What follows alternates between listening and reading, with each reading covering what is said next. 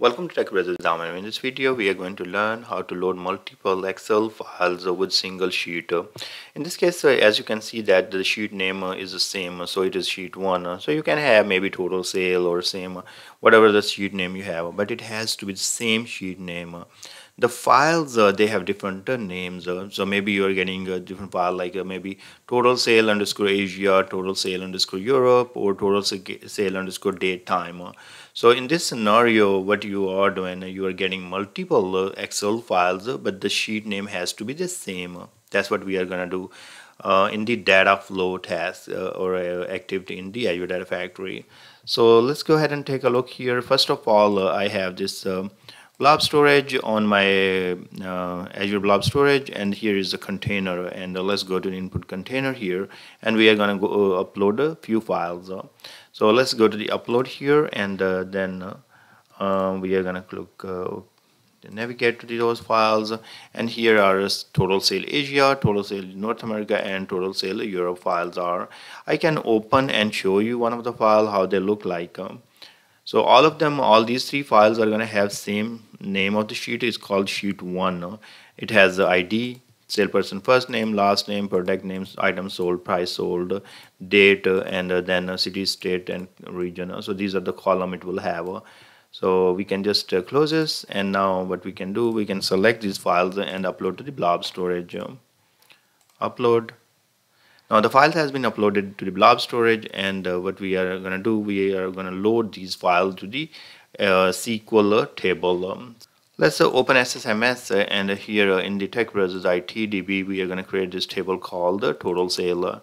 So I had dropped this table and uh, just creating a new one for you so you can see the definition. we have ID, salesperson first name, last name, product name, and all those other column exactly the same way what we have in the file. Also, I have added one more column to it called the file name. Because we are loading multiple files, I would like to know which data is coming from which file. Let's create this table, and uh, we have created this table and select the data. And uh, as of now, there should be no data in this uh, table at all. Let's go back to our uh, Azure Data Factory here and now we are going to go to the data flows and here a new data flow. I have created the, the same type of scenario with the copy activity. The goal uh, to uh, load the files in the data flow is um, sometime you need to use multiple transformation. Maybe you want to do uh, remove the duplicate records or maybe you want to add new columns and all that. Uh, that's not possible in copy activity. That's why I'm using a data flow here. So you can uh, read the file then add other transformations uh, and then finally load the data to the destination. So let's call it data excel df excel. And now we will add source here and uh, we will go to the data set uh, hit new and uh, Azure Blob Storage. We are going to create a link service to the Azure Blob Storage and we will be using source as Excel um, hit Excel and now we will be creating new link service. Here I will be providing my subscription and then my account that's my storage account and then create a Azure Blob Storage 5 is the link service name now let me navigate to the input folder and here uh, or container and I'm going to select uh, one file and then uh, what I'm telling here uh, use the worksheet mode so I'm telling use the name here I could have used index uh, but uh, we are gonna leave this one index for the next demo where you have um, different file names sorry sheet names and uh, you would like to load the very first or very second uh, sheet uh, from each of the tab uh, or excel file. Uh, that's where we will use index. Um, as of now in this scenario our name is perfect because each uh, file has the sheet one. So we don't have to worry about like because each excel file has sheet one so we will be fine to load the data. But in case our sheet names will be different then we will be using index. But it will with the index you will be only reading one sheet from the file because we have multiple files we'll go for the index later but right now we know that the sheet 1 is the same sheet name in all three files.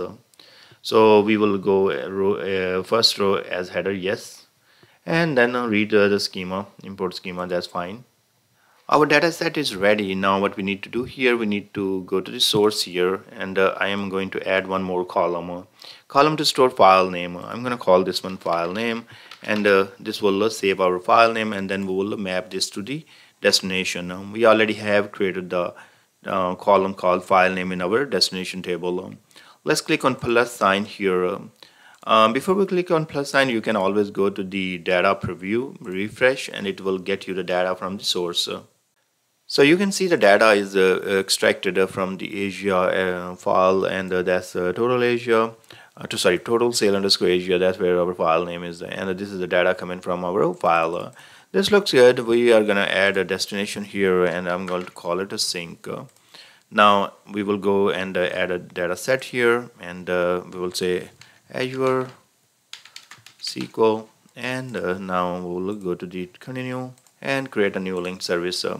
Here I'm going to navigate to the subscription server name database name and then provide a username and password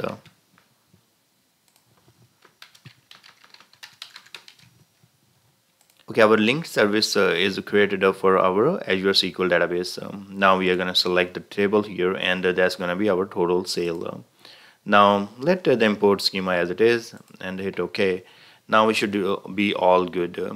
here uh, what I have done in the source as of now if you notice that I went to the mm, source settings and we created the data set. That's the only thing we did it here. Now in the source options uh, we added uh, the file name. As of now you can see that I did not uh, tell uh, use the wildcard path here. So it means that we are only pointing to this single file. And that is fine. now let's load this one first and then we'll come back and make changes to load multiple files. let's go to the pipeline here, add a new pipeline and then we will drag our data flow dfxl sorry uh, that's our dfxl uh, go to the second and uh, dfxl has to be bring here. Hit debug and it should load uh, our excel file for uh, that's a total sale underscore asia. That's the only file it should load as of now. Our data flow and pipeline has been completed successfully. Let's go ahead and take a look. Uh, first of all we are going to take a look here on the details uh, and we can click right there. It read four rows and then has written four rows. Looks good. Let's go back to the other pipeline and uh, now we will go to the our table and uh, select the data. As you can see that uh, it has loaded all the records from um, total sale Asia file um, and that's the file name. Now let's go back and make some changes because we would like to load multiple files um. now here I'm gonna go to the DFX dfxl that's our data flow Excel. And uh, first of all uh, what I will be doing here I will be going to settings and uh, then actually go to source here and then here we will say asterisk dot xlsx okay so it means that we are telling all the files or whatever uh, are available in in the input container load all of them. One more thing on the destination side I would like to do is uh, I would like to truncate the table. So truncate table before loading the data. Now we are all good here go back to the our uh, pipeline and let's debug again this time it should uh, truncate the table first uh, and then load the data from uh, multiple files. Okay, our data flow and pipeline has been completed successfully. Let's go ahead and take a look in the table. So I'm gonna run execute uh, select start from uh, DBO total sale and uh, now you can see that uh, the data has uh, been loaded from three different files total sale in North America, total sale Europe and total sale Asia. So this is how you will load multiple Excel files uh, with the single sheet uh, which has the same name. Um, uh, so uh, there, there are some limitation uh, and uh, I'm going to work on those one as well for you to create the demos because sometimes you have multiple sheet names and you would like to load them dynamically. That's still we have to work it out. Um, I have other video where we loaded multiple uh, files with multiple sheets dynamically in the copy activity. But there was some problem. We could not read the list of those sheet names dynamically. We had to save into the parameter and then just loop through those.